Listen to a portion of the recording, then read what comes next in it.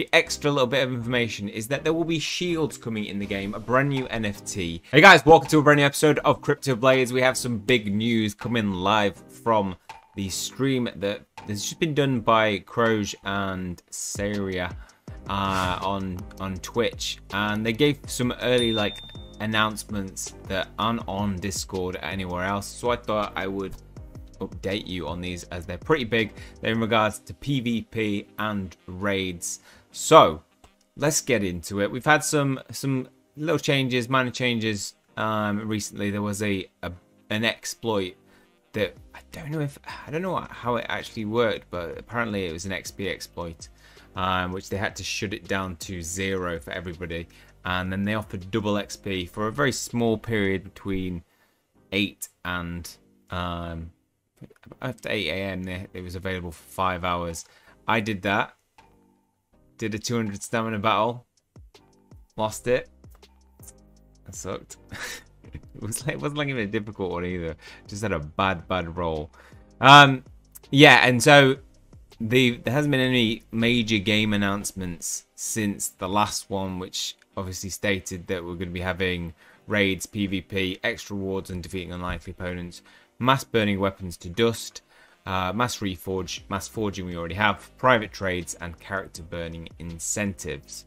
So, the extra little bit of information is that there will be shields coming in the game, a brand new NFT, and shields are going to be mainly used for PvP. So they will, apparently the first through special acquisition, and then you'll be able to mint them.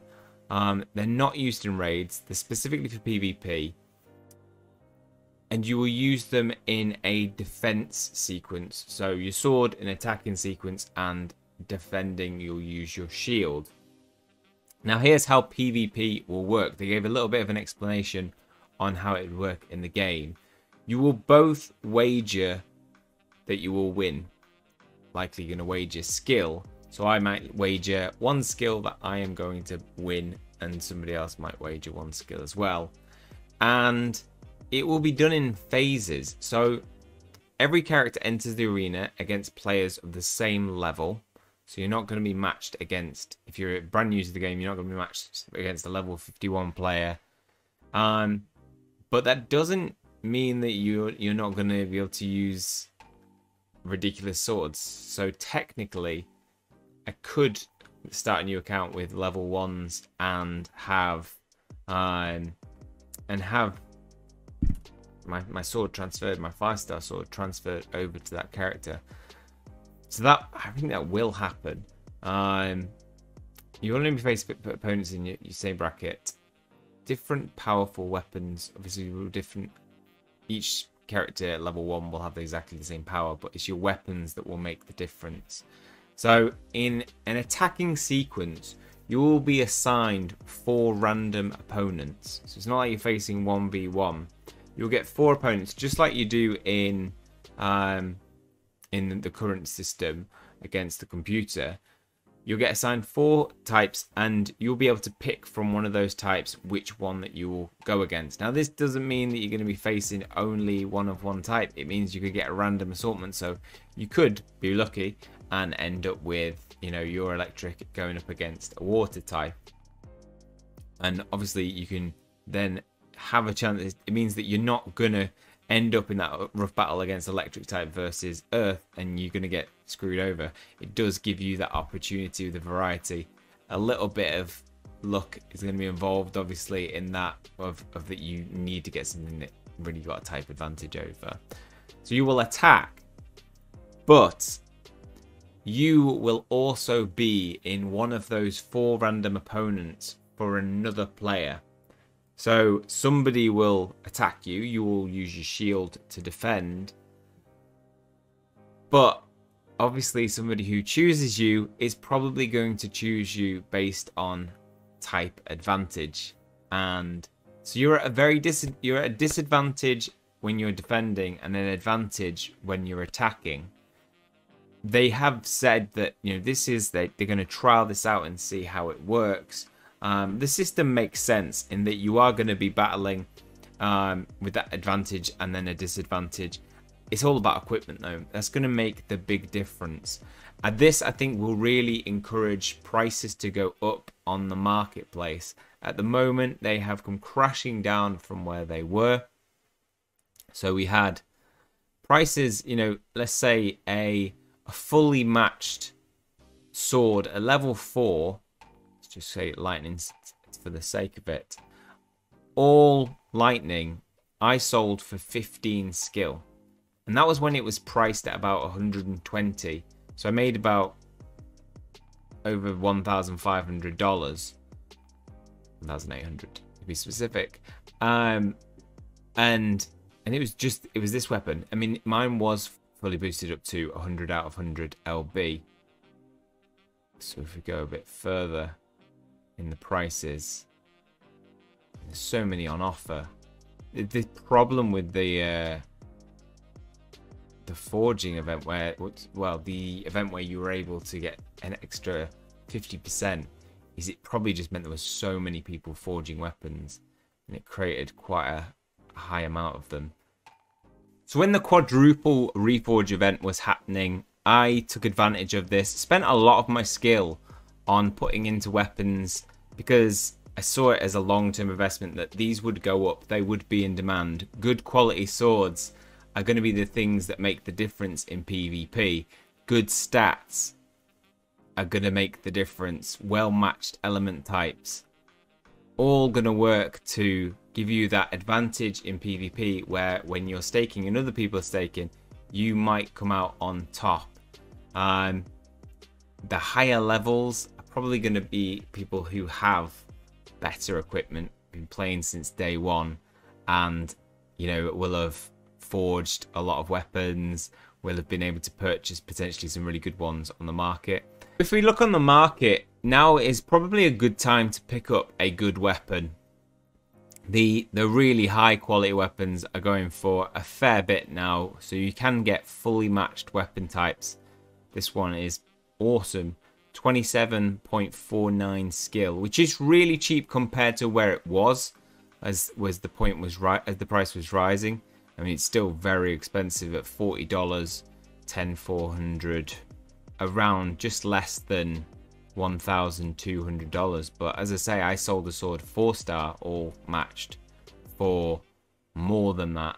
So maybe if we see those prices coming back, we'll see that that's going to make a, a difference. This just going to set by 659. Don't don't buy that sword. So PvPs, those individual differences in stats and LB are going to make all the difference in giving you that advantage in um, PvP when it comes live. So I, I would recommend save some skill for when the shields come live. So I imagine there'll be some kind of forging. They, I didn't really understand it where they said it would be first through special acquisition. I'm not really sure what that meant. Um, and they did say there would be some through minting. Might be that special acquisition is like in raids they're gonna have special acquisition in that you know it's a random drop. It'd be pretty cool if it was a random drop in just standard battles. It'd be a nice little element to add. But I think in terms of boosting the value of the coin, you're probably going to see more value in it being something that you have to spend skill to purchase or have a um, a random a random uh, forge at. So on top of that, they did mention that it was going to be um, limited to once a minute at a time. So you are when you attack, you can have a 10 plus 10 minus 10% bonus to your power, just like in in playing against computer. Um, but you'd only be able to, be able to battle and defend once a minute, and then it would roll over this just prevents people from being attacked like 500 times. Um, gaining or losing skill tokens as winning, depending on um, yeah, you obviously gain or lose a skill token depending on whether you win or not. 50% though would be going to the rewards pool, they've said, and there would be a payout for the top three players in a bracket when they level up their character level. So let's say everybody is level 1, and the person who's won the most, who's first, second, third for level 1, they would be in the top where there's a reward pool. Now, when they level up, I'd imagine then they take that reward pool with them. So the idea is that it's built to incentivize people to actually level up and stop people from quote um, smurfing, making sure people level up and enter new brackets and don't just stay in and dominate another bracket.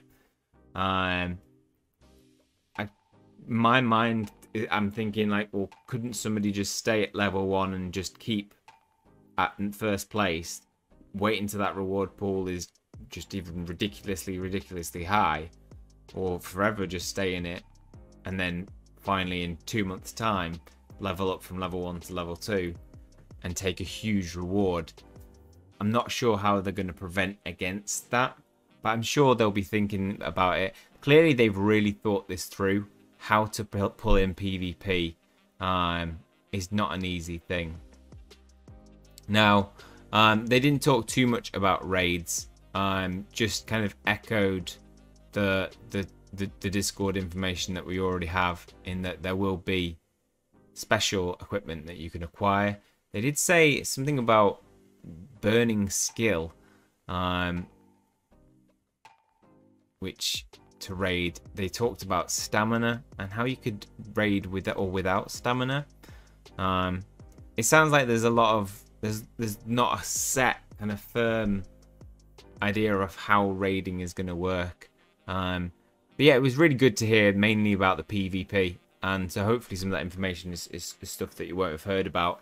And it just prepares you, make sure you get ahead of that coming out. Where I do predict that we'll see a surge in prices on the NFT market for good equipment. Um, if we do see like when dust comes in, I'm not. I would recommend not reforging yet. This is why I'm I'm keeping this here um, at 3LB just because there's no bonus to it. But I think maybe when they bring in the the, um, the concept of dust, that they might have a special dust event, like a reforge with dust event, two times two. Definitely wait it out. Um, they've had them in the past, so I don't see why they wouldn't have one in the future, future to incentivize using it. Um, okay, well that is all for this episode. Hopefully you found that interesting. If you have, please leave a like on the video. It always helps the channel out. If you're new to the channel, hit subscribe. I will do my best to keep you up to date with any news from CryptoBlades and other cryptocurrency games. That's all for me. See you guys soon.